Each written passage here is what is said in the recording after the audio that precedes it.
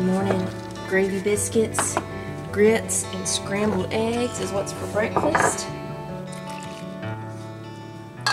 We got this biscuit mix from the Logan Turnpike Mill store. It says all you have to do is add water. And I didn't put, it says three fourths of a cup to a cup of water. I, I didn't put quite a cup, so we'll see if we need to add a little more. Yep, we definitely need to add some more.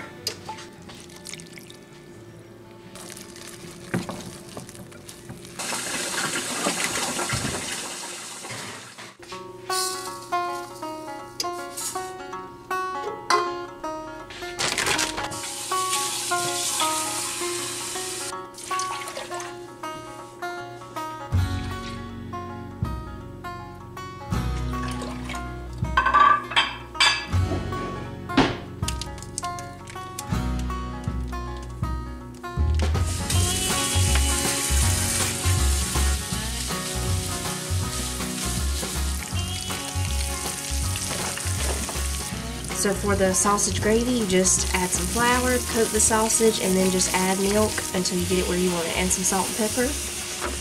Just kind of go by feeling with the gravy. The longer it sits, the thicker it'll get, you know, with the gravy. So you might have to add a little more milk if you're waiting on everybody to get in the kitchen to eat. like I normally am. I normally have to add some more milk a couple of times waiting on everybody.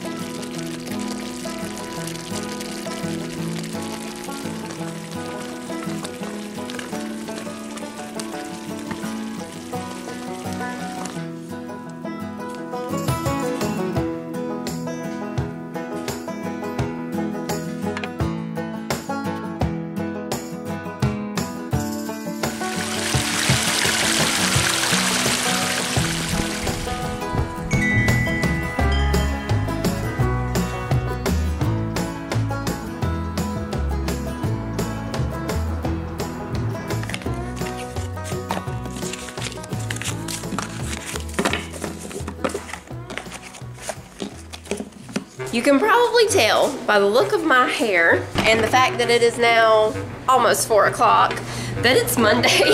There's Mandy Mac, that's his new wave, it's just that. Really the fact that it's Monday probably has nothing to do with my hair looking like this. I'm not sure what's going on with that. But it's been a crazy day and it turned kind of cold again, which is a bummer because nobody wants it to be cold anymore. Ready for the warmer days. It's not terribly cold today. This morning it was pretty cold. We had a frost warning yesterday. Not sure if there was any frost, but I was glad that I hadn't put, you know, any plants out there or anything because, yeah, we had a frost warning. Mama, Hmm? a, a long time ago we were trying to make plants and it did not happen. Right, it didn't happen, and that was very sad. That's Yeah, because I'm not a professional gardener. I try, and that's what's important. I try. try. I think it's our ground. Let's just blame it on the ground. The soil, I don't know. So yeah, it's time to cook supper now. I had a couple of ideas here. I need something quick because I think after supper we're going to Home Depot. Titus needs to go get some stain for the back porch. I'm looking for this page number because I saw, okay, here it is. I was gonna make the macaroni casserole that the kids really love. You know, it's an old recipe that my mama used to make. But then I saw this sloppy Joe bake. So it looks like uh, a sloppy Joe with like a cheesy biscuit on top of it. It looks really good. I'll have to change the recipe a little bit though. This is from the 150 recipes in a 13 by 9 pan, the Gooseberry Patch cookbook. Um, I'll have to change the recipe up a little bit because it just calls for a can of Sloppy Joe sauce. I don't have that, so we'll just have to make it like, you know, when we make our own Sloppy Joes. But other than that, I have everything, and I think we're going to try this with a salad. I think this will be good. Yeah, that's what we're going to do. It only takes...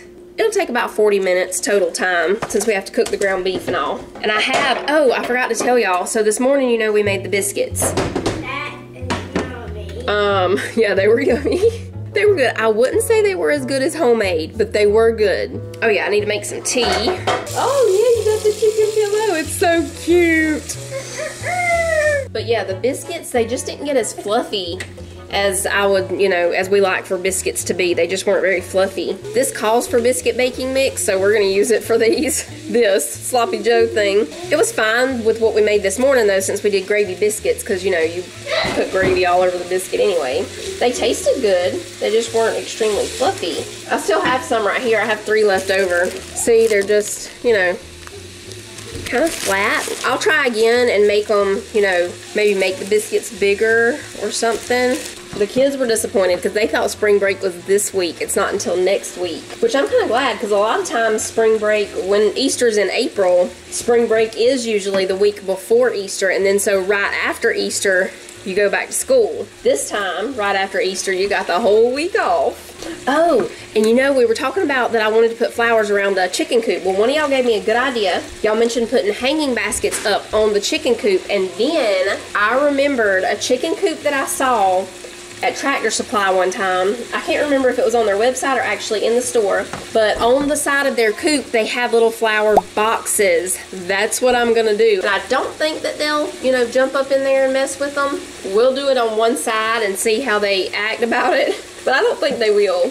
And I've got their bench, the little bench that we got. I was looking, you know, for a little rocking chair to put on their porch, but I'm gonna try this bench Titus is telling me they're just gonna, you know, make messes on it. And if they do, I'll probably move it to somewhere else because it's really cute. It was only $10, but I wouldn't want them to just, you know, use it for other things than sitting. So if they start doing that, we'll move it. But I'm thinking I'm gonna put this and maybe a fake little flower pot or something beside it that they can't mess up, you know. They just wanna dig in the dirt.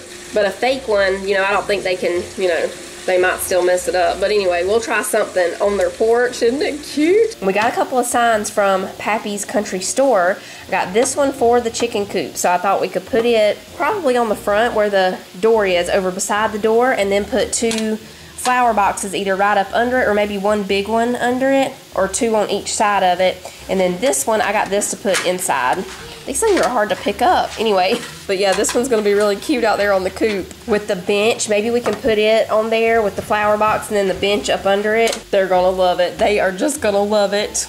They really probably won't even notice it, but we'll love it. All right, this ground beef is almost ready. I'm gonna go get the biscuit mix out of the refrigerator because it said to keep it refrigerated on there. Okay, let me drain this real quick. Oh, I need to preheat the oven to 350. Make sure I press start this time. Yesterday, I was sitting there like, I got the oven preheating and I didn't even have it preheating, y'all. We'll add this over here with the ground beef. I'll turn it back up to a little under medium now.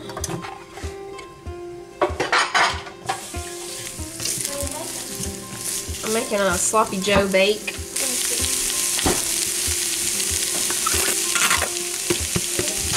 Oh, is it?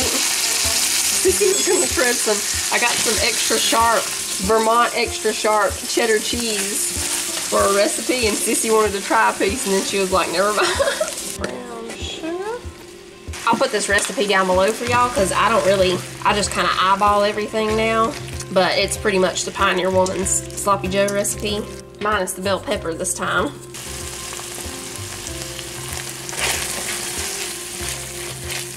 Okay, I'm gonna put a little bit of Worcestershire sauce. Okay, now we're just gonna let this simmer while we make the biscuit mix part. Sissy shredding the cheese for me back there. We're putting two cups of the biscuit mix.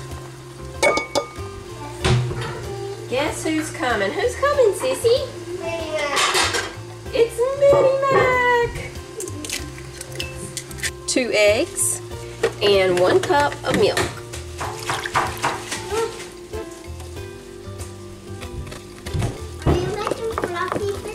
I don't know. We're going to see how they turn out with this milk instead of water. Watch this be a really fluffy topping here. I'm greasing my pan over here. I'm out of spray, so I'm having to, you know, do it the old-fashioned way. We're pouring in the meat mixture. We put some cheddar cheese on top of the meat mixture, and now we just pour the biscuit mixture over the top. And we'll spread that around. That's it. It's going in the oven for about 25 minutes.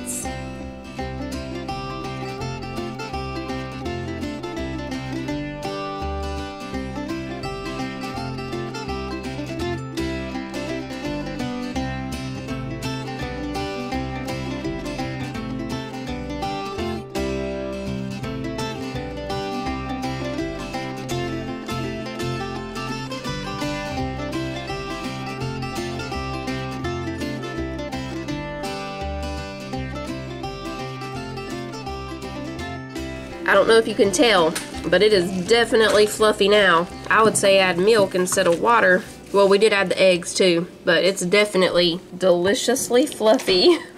It's really good. It's like buttermilk biscuit sloppy joe wonderfulness is what that is.